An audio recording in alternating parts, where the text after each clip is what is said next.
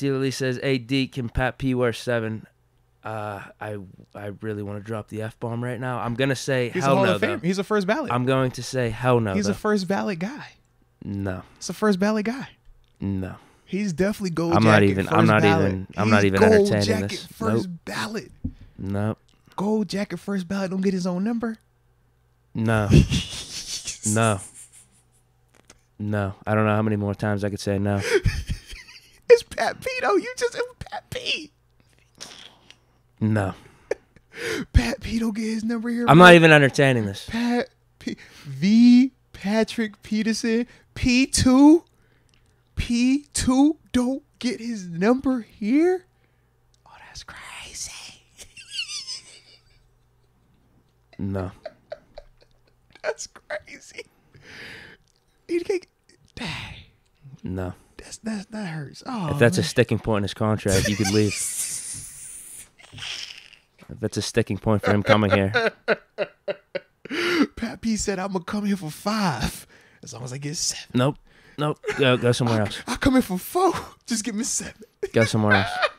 Nope. Yo, Off limits. if he if I see a picture on social with him at that seven, oh, it's a wrap. Somebody gonna do it too. You know. Oh, they are. That would be an easy jersey it. swap because you already have the seven Yes, jerseys so many times do in pictures out there. Seriously, somebody's gonna do it, bro.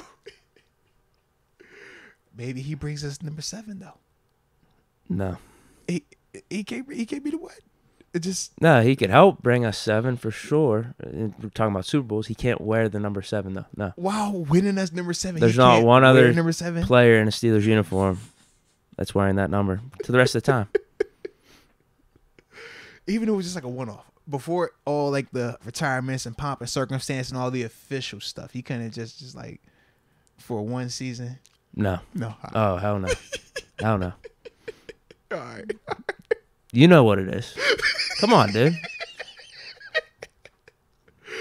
With you. It's just funny. You Like I'm surprised. Yeah, I'm surprised you're even Yeah. like that. You, It's just you're like funny, playing with a little bit. It's, It's like you know, like funny, this bro. this can't happen. This this is not happening. Because the thing is this, you know it's somebody out there that's watching that doesn't know. They don't feel like that. They're gonna be like, yeah, Pat P with his number, Pat P like that, Pat P gets seven. you know it's gonna be somebody I said. Shoot, that's how we look at the number one with George Pickens.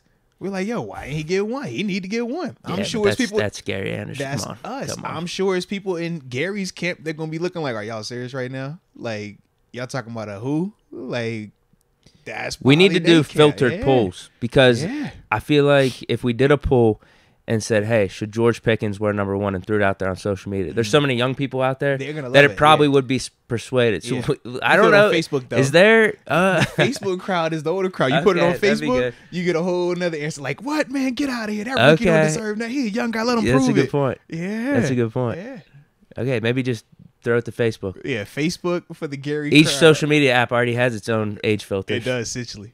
We want the young young crowd. Gonna be TikTok. we want we want the middle age at twenties, thirties. All right, we go to IG with it. Like, yeah, we we know.